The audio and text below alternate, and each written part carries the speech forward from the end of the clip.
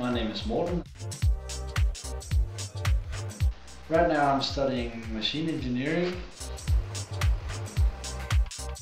I think that Kongskilde is a great place to work.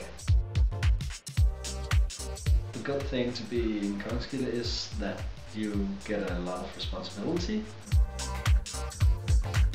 There's a lot of engineering uh, people up here who has uh, a lot of knowledge.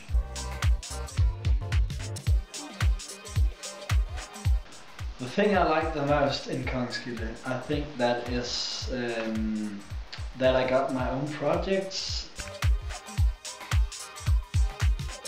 We're making a mower that can mow like difficult terrain. In this project, um, we're testing a mower that JF has already developed and um, we're going to test it out in the field. Uh, as far as I know, uh, in the field, this machine works pretty well um, and up to the expectations.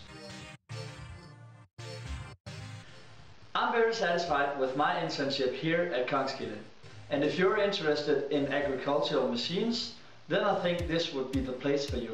So go sign up as an intern here.